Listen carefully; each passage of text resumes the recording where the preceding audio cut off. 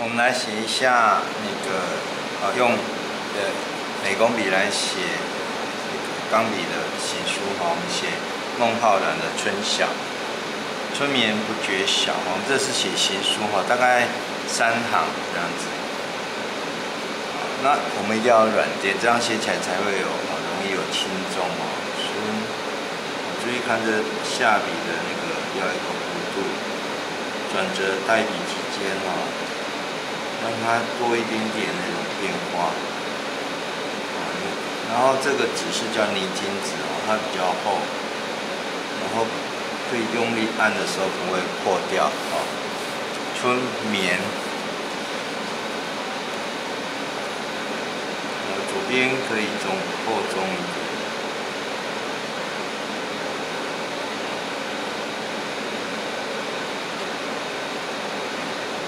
倒钩回来，连续动作，然后这个好勾，把它勾的小心。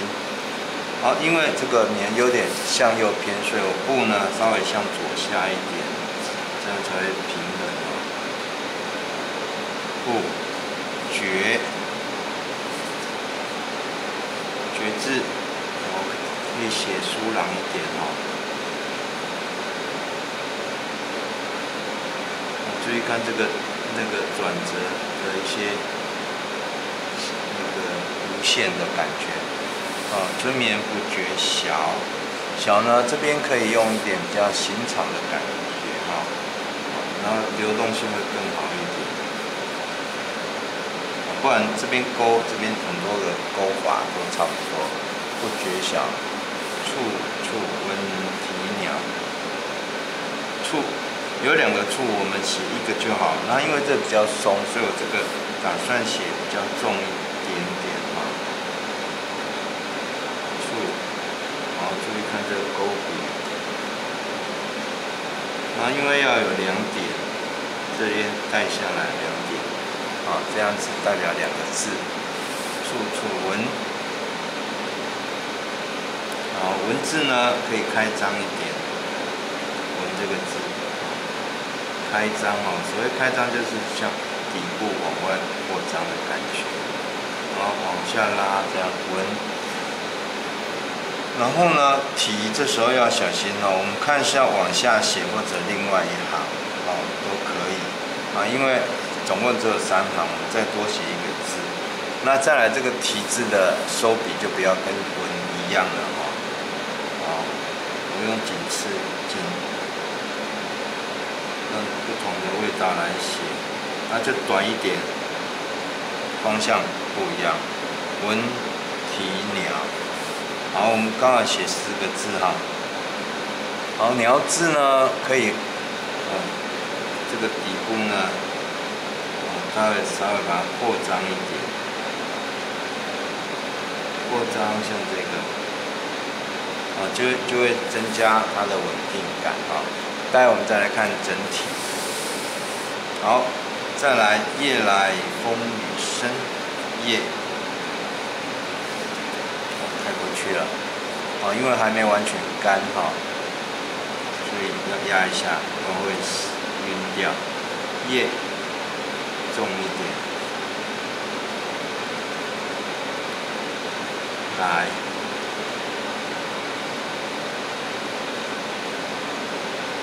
这样子抽哈，风雨声要注意左右两边要搭配哈。风字呢可以再重一点点，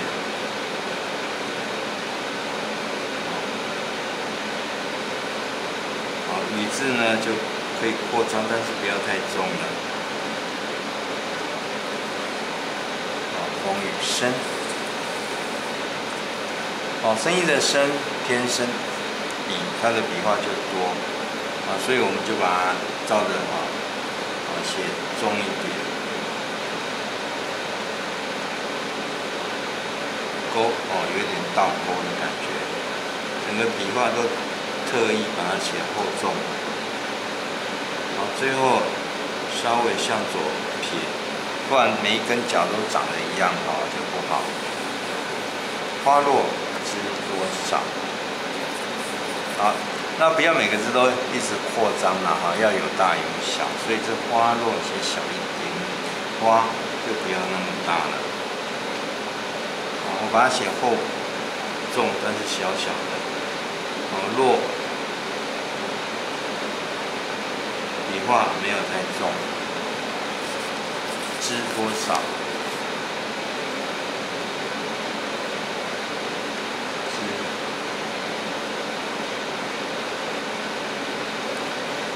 注意哦，这里一个口，所以这两个口不要太一样。多呢，因为可以拉长，哦，所以我们把它拉长，这样才会跟着鸟字比较一个等啊同高那种同底部的感觉。少呢，我们就写下一行没有关系，因为哦还有下面还要写字哈，所以单一个字在这里哦没关系，少字。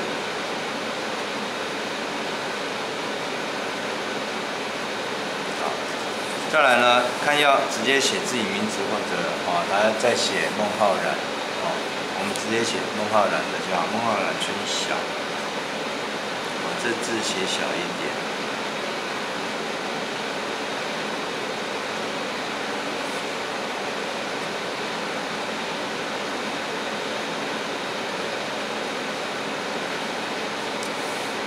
然。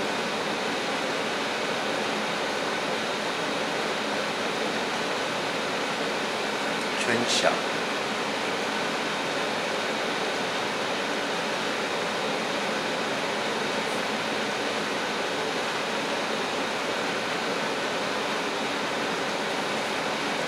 好，然后当然可以写上自己的名字哈，我们来写看写一下哈。那现在是丙丙申年六月。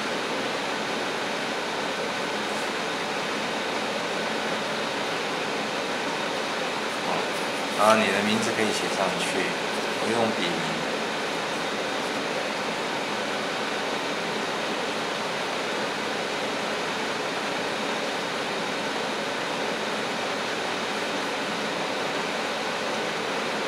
最后再盖印章上去就可以。好，我们来看整体的，看一下整体。整体大概是这个样子啊，笔的大小，所以啊字啊相对起来算是以钢笔来讲是蛮大的了哈，因为这种字钢笔的特点啊可以写这样子。